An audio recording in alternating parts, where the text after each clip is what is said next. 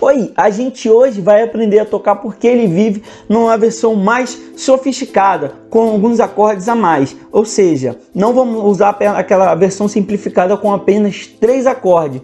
E eu desafio você a conseguir tocar esse louvor comigo, tá?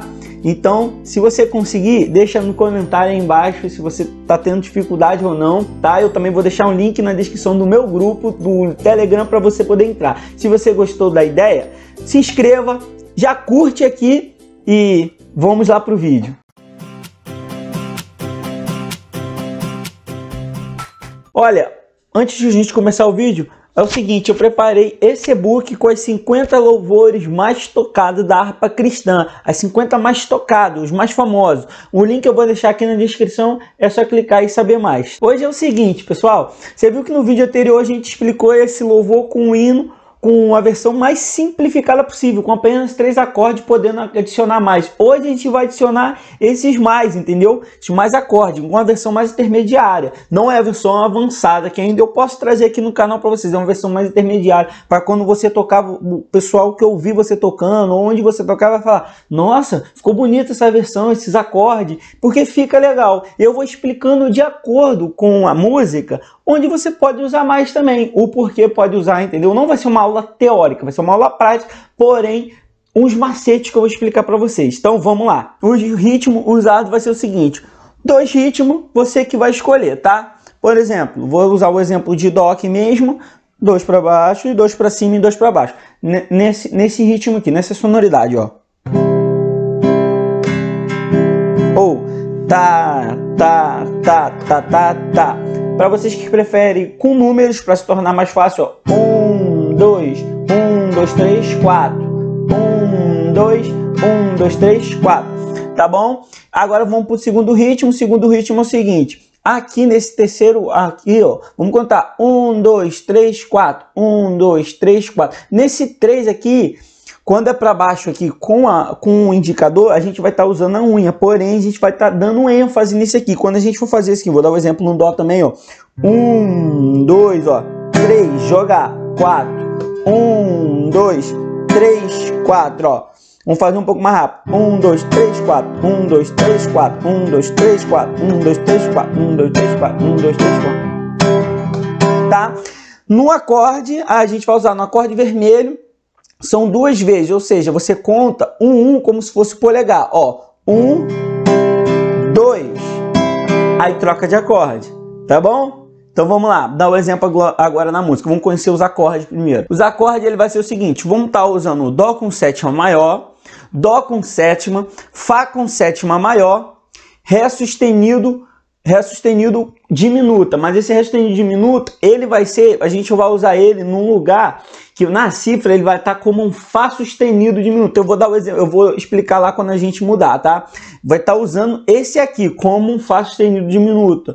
Por quê? Por ser da mesma família. Não vamos entrar em teoria agora, vamos usar como substituto e por ser mais fácil, por estar mais próximo, tá? É o seguinte, Lá menor com sétima e o Sol. São esses seis acordes que vamos estar usando. Assim, o violão apresentando, tá? Então vamos lá na canção. É o seguinte, onde está sublinhado, onde devemos trocar. Acorde vermelho naquele primeiro ritmo, um ritmo completo. Aqui no, no, no, segundo ritmo, desculpa, no segundo ritmo, vai ser dois ritmos para cada acorde, tá? Lembrando que aquele primeiro ritmo é um ritmo completo e no segundo ritmo executar duas vezes em cima de cada acorde. Pode ver ali que nos acordes eu não coloquei o Fá sustenido diminuta lá na apresentação no gráfico dos acordes. Por quê? Toda vez que aparecer esse Fá sustenido diminuto, você vai jogar aquele Ré sustenido diminuta, por ser da mesma família. Porém, na cifra, na grade, que isso se chama grade da música, onde devemos fazer, temos que colocar um Fá sustenido diminuta, tá bom? Porque o Ré sustenido diminuta é um outro nome dentro desse campo harmônico, tá bom? Aí vai entrar muita teoria, a gente depois, meu curso em breve vai estar saindo, eu vou explicar isso tudo para vocês. A gente vai tocar, tá bom? Então vamos lá, vamos tocar no primeiro ritmo primeiro. É Deus enviou teu filho amado. Ó, nota. Pra perdoar. Vamos lá. salvar. Na cruz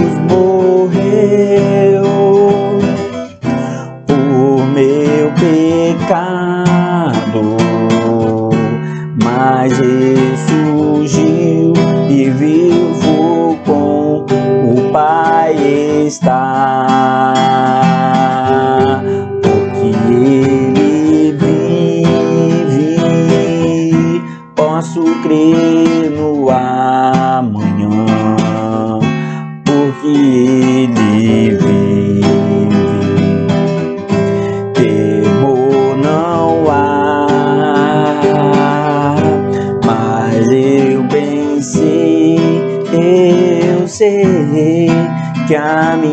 Vida está nas mãos do meu Jesus que vive está. E, enfim, chegar a hora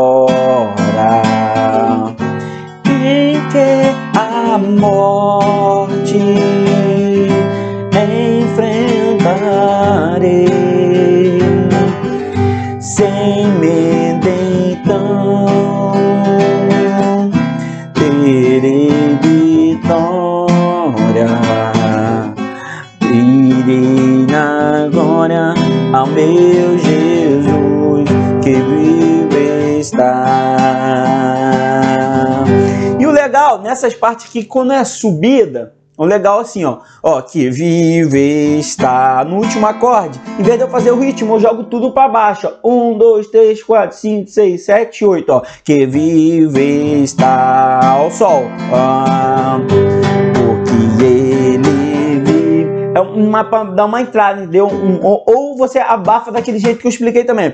Ó, e vive está. Ele vive macete, entendeu? Você toca aqui, ó, toca tudo assim, ó. Toca com a mão meio assim, encostada, ó. Efeito que vai dar. E, ou se você quiser fazer o acorde, vai para subindo, ó. Vai apertando devagar, ó. Mais forte, vai dando uma entrada na música, tá bom? É legal esse macete. Aqui tá numa versão mais é, intermediária para vocês, tá? Você pode botar o vídeo para acompanhar. É legal vocês treinar nessa versão também. Por quê? Para a gente não ficar preso apenas com três acordes em versão simplificada. É claro que a gente tem que aprender a versão simplificada primeiro, a gente tem que aprender a engatinhar para depois ficar de pé, andar e correr. Mas é legal vocês se aprofundarem mais, porque fica mais bonito, com certeza. Os acordes, a harmonia é bonita, tá? E pra gente não ficar naquela parada, a gente ficar assim, ah, eu tenho que tocar fácil, ah, eu tenho que ser o fácil. Não, é legal você procurar mais profundo, tá bom? Então, espero que você tenha gostado do vídeo, tá? Peço que você pratique nessa versão mais sofisticada para seu repertório de harmonia aumentar também, tá? Porque vocês pegando várias uma harmonia são repetições, são sequências. Então você entendendo em uma música, você vai entender em outra, acrescentar em outra. E não se esqueça de entrar no grupo de Telegram para me te dar dicas de outros louvores também. E olha, nesse e-book você vai aprender esse louvor porque ele vive em três tonalidades diferentes e muito mais 49, né? Porque são as 50 mais tocadas, como Mensagem da Cruz, Chuva de Graça e muito mais. É, e só você acessar o link na descrição que você vai conhecer mais sobre o e-book, tá bom? Fique com Deus e um forte abraço.